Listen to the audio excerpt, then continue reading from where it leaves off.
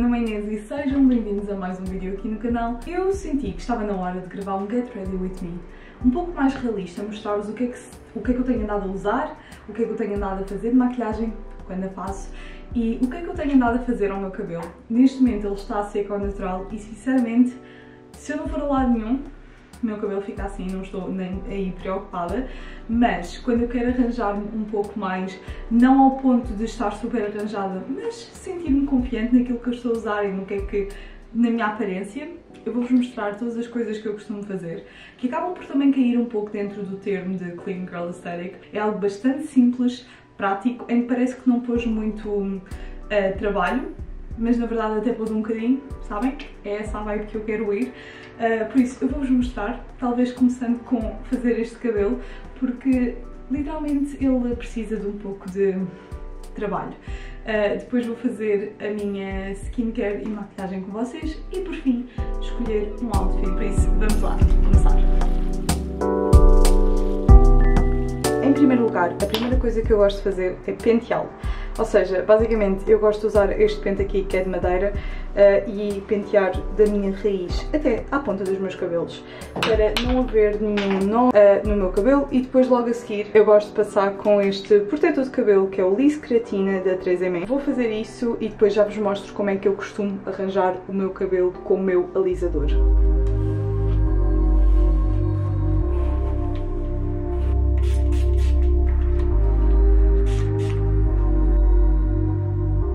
Agora que o meu ferro finalmente aqueceu, o que eu vou fazer é pegar numa parte do meu cabelo, chegar aqui e encaracolá-lo. Eu não sei explicar isto de forma científica, mas acho que dá para perceber como é que ele fica e depois ficamos com este caracol aqui perfeitinho. Eu gosto bastante desta técnica, apesar de não ser a coisa mais saudável para o meu cabelo, eu sei que não é, eu sei é a forma como eu mais gosto de o ver. Ele fica cheio de volume e fica mesmo bonito.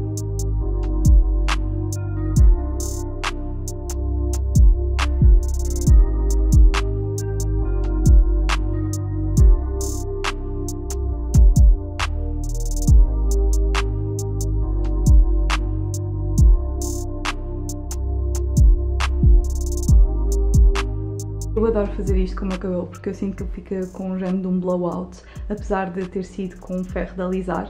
Eu gosto mesmo bastante do resultado final, fica assim bastante volumoso, cheio de jeitos e eu adoro ver como o meu cabelo fica com este efeito. Hum. Eu sei que disse que agora ia fazer a minha maquilhagem, Contudo, se eu for fazer a minha maquilhagem agora e depois for vestir a roupa que eu tenho para vestir, o que vai acontecer é que a minha roupa, se não for preta, e mesmo assim, às vezes quando é preta, vai ficar toda manchada. Por isso, vamos escolher primeiro o outfit e depois sim tratamos da maquilhagem e finalizamos o look. Por isso, vamos passar para o meu armário e ver o que é que eu tenho.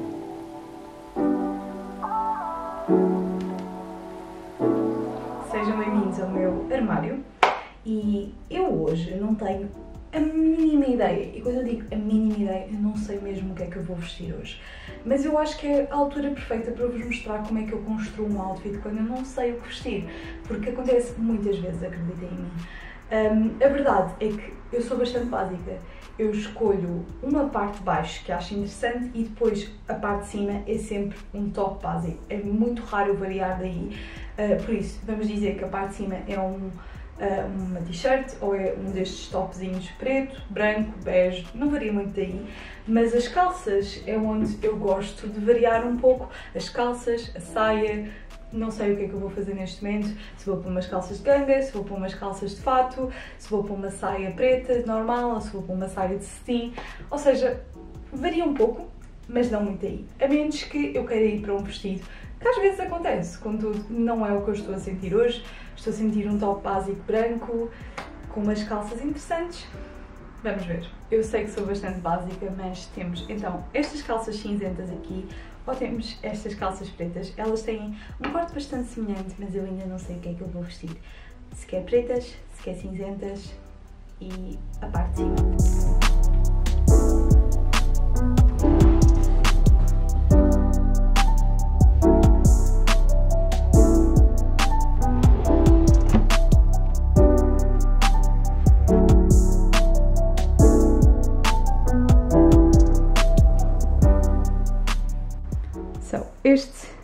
Outfit, como conseguem ver. Eu adoro, é um dos outfits que eu mais utilizo por alguma razão.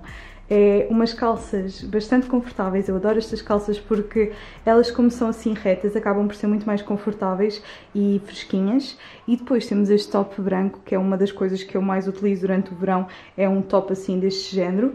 Uh, e em conjunto acaba por ficar um outfit bastante simples, mas por causa das calças serem assim um pouco mais diferentes e mais elegantes, parece que eu pus trabalho, quando na verdade uh, foi um outfit mais simples e mais rápido que eu conseguia meter.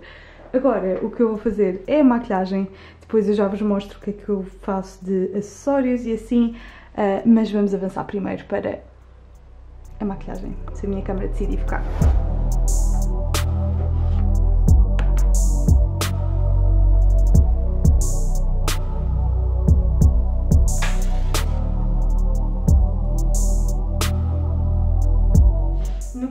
Maquilhagem, eu gosto de fazer uma maquilhagem bastante simples e natural. Eu não gosto de ter muita coisa na minha cara, principalmente agora no verão. Eu acho que a palavra principal que devemos ter aqui em consideração é que estamos no verão. E durante o verão eu nunca tenho paciência para rímel, por isso não vão ver rímel aqui, mas isso é uma coisa que se vocês quiserem adicionar, adicionem. Eu tenho aqui estes dois ganchinhos que eu vou prender no meu cabelo para ele sair da cara, basicamente, e não interferir com a minha maquilhagem. Eu não vou fazer nada de muito especial, mas vou-me focar mais na pele. Eu decidi aproximar-vos para vocês conseguirem ver um pouco melhor o que é que se está a passar na minha cara. O que eu gosto de começar é com o corretor. Este corretor aqui é da Catrice, é o True Skin e eu já o tenho há algum tempo e adoro. Recomendo a toda a gente que quiser usar. E o que eu faço é ponho apenas nas olheiras. Se eu tiver alguma borbulha, como tenho aqui, ponho um bocadinho na borbulha, mas em geral eu gosto de apenas pôr nas olheiras. Depois venho com este pincel aqui, que é um corretor que eu comprei na Primark já há algum tempo. O corretor está feito, agora o que é que vamos fazer? Contorno. E é da Fenty Beauty, é na cor Amber 01. E o que eu gosto de fazer é pôr nas minhas cheekbones para elas ficarem mais contornadas e depois com este pincel de contorno que também é da Primark. Eu gosto bastante da qualidade dos pincéis da Primark, são vegan, baratos, por isso é tudo o que eu quero. E agora vou esfumar para cima, blush. Eu gosto bastante aqui, este aqui é da Rare Beauty na cor Bliss. É o único produto que eu tenho da Rare Beauty uh, e eu amo. E estou com boa vontade de comprar o iluminador, porque o que eu faço é meto aqui duas bolinhas ao pé da minha bochecha, mais aqui para cima, na zona onde normalmente costumo pôr o iluminador, ou onde costumava sinceramente. E depois Venho com um pincel de blush, que este aqui é do chinês, que eu já tenho há anos, mas quando eu digo anos, é mesmo anos e anos. Uh, e depois basta esfumar. Ainda na pele, eu vou pôr então este Dose of Dew, que é o iluminador que eu tenho, já tenho este iluminador há anos. Um, e ponho aqui na zona das bochechas, também onde basicamente pus o blush. E depois gosto também de pôr aqui um bocadinho debaixo da sobrancelha e um bocadinho na ponta do nariz. Normalmente até uso mesmo o o pincel de blush para esfumar, porque como fica exatamente na mesma zona, eu sinto que não faz grande diferença estar a mudar de pincel. Agora que temos a pele, a base da pele feita, eu vou cobri-la com um bocadinho de pó. Eu tenho a pele oleosa, ou seja, é mesmo necessário eu usar pó na minha cara, acreditem em mim. Se eu não usar pó, esqueçam. Minha pele vai ficar toda estranha e eu não quero. E o que é que eu vou fazer? Eu tenho este pincel aqui, que supostamente ele é para iluminador, e eu já usei para iluminador. Quando eu comprei este pó, acabei por começar a usá-lo como pincel de pó, e depois eu dou aqui tipo umas pequenas batidinhas para ele sair um bocado de produto. Depois venho com este pincel minúsculo aqui debaixo das minhas olheiras para o corretor aguentar o máximo de tempo possível. Eu adoro fazer isto e sinto que o meu corretor dura muito mais tempo. Passando agora às minhas sobrancelhas. Eu sinto que cada vez que eu uso este produto, as minhas sobrancelhas ficam mega bonitas, ficam todas esculpidas e não saem do sítio o dia todo. Eu adoro este produto, ele é da Anastasia Beverly Hills, é o Brow Freeze, vocês já devem ter ouvido falar, ele é um bocadinho caro, mas eu sinto que compensa. Eu já o tenho, não sei quando é que eu comprei, mas ou comprei em abril ou em maio e ele, eu mal usei, sabem? Ele ainda tem imenso produto. A única coisa que eu já ouvi pessoas a dizer é que têm que ter cuidado para não o deixarem aberto, tipo sem a tampa, mas isso é uma coisa que eu tenho cuidado, por isso não, nunca me aconteceu. Mas o que eu faço, basicamente, venho aqui com a espátula, com este, este aqui que eu comprei na Primark também, uh, e depois meto o produto na minha sobrancelha e penteio até obter o formato que eu desejo. Cara finalizada, sobrancelhas finalizadas, o que é que falta? Olhos. Contudo, eu não os vou fazer, não tenho paciência, mas lábios. Este produto aqui é o meu produto favorito do momento em, no que toca a qualidade-preço.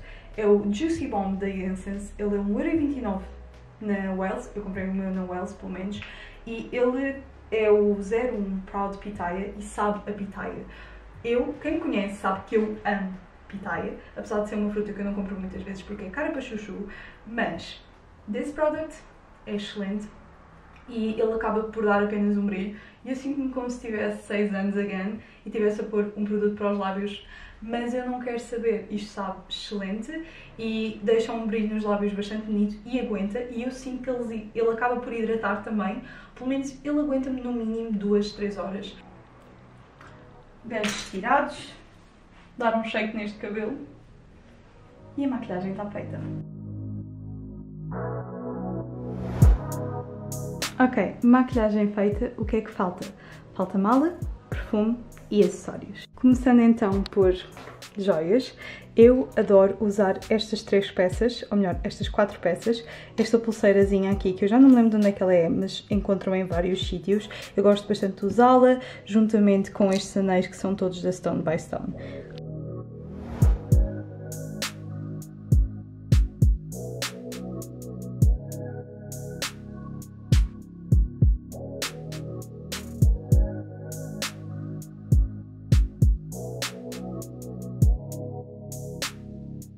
E já estamos despachados, já tenho a minha mala, esta mala aqui é da Brandy Melville, uh, só falta calçar, mas eu provavelmente vou usar tipo uns chinelos brancos ou qualquer coisa e está feito algo bem fresquinho, ou então uns ténis brancos. Foi esse o vídeo, eu espero muito que vocês tenham gostado de me acompanhar, isto é basicamente o que eu faço cada vez que eu me arranjo, é uma maquilhagem básica, um outfit básico e é sempre a mesma base, por isso, eu espero muito que vocês tenham gostado. Se gostaram, não se esqueçam de deixar um gosto, subscrever lá em baixo e vemos no próximo vídeo.